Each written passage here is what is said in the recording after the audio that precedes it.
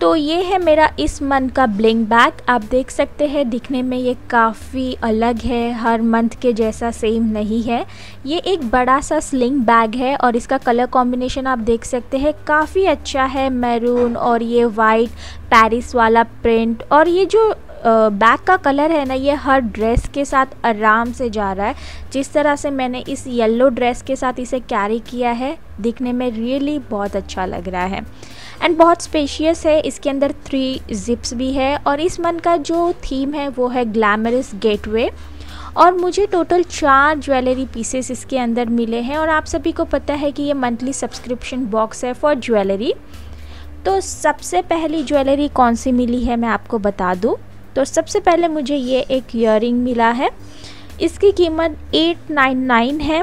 Perfect है party के लिए और मेरे फेस पर, मेरे हेयर स्टाइल पर ये ईयर काफ़ी अच्छे से मैच हो रही है और रियली मुझे बहुत ज़्यादा पसंद आई। बस मैं वेट कर रही हूँ कि कोई नाइट आउट वाली पार्टी पड़े और मैं इन्हें पहनूँ। इसके बाद ये है मेरी सेकंड ज्वेलरी जो कि अगेन ईयर है। बहुत सारे स्टर्ट्स है इसके अंदर कलरफुल, जैसे pink, blue and white colour के।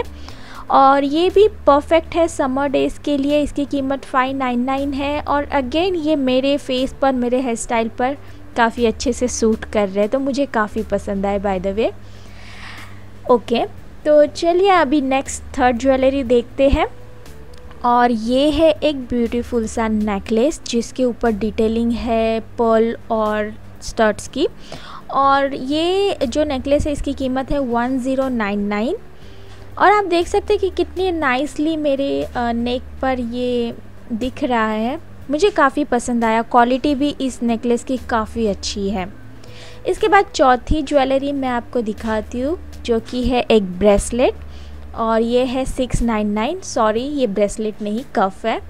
हाँ कफ़ थोड़ा सा ढीला है मेरे लिए, पर अगर मैं इसे नीचे के साइड पहनूँ तो बराबर है, क्योंकि आपको पता है कि मेरे जो ये रिस्ट है काफ़ी पतला सा है।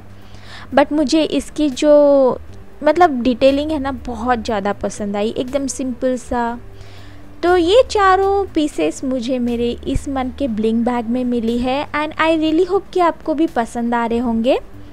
एंड इन्हें पहनने के बाद मेरे पर ये इस तरह से दिखते हैं। तो दोस्तों, अगर आपको भी इस मंथ का ब्लिंग बैग पसंद आ रहा है तो आप अपने लिए भी ऑर्डर प्लेस कर सकते हैं। और तब तक नीचे कमेंट करें और मुझे बताएँ कि आपकी फेवरेट ज्वेलरी कौन सी है इन सब में। एंड प्लीज़ लाइक करें इस वीडियो को और सब्सक्राइब भी करें, अगर अभी तक नहीं किया है आपने तो।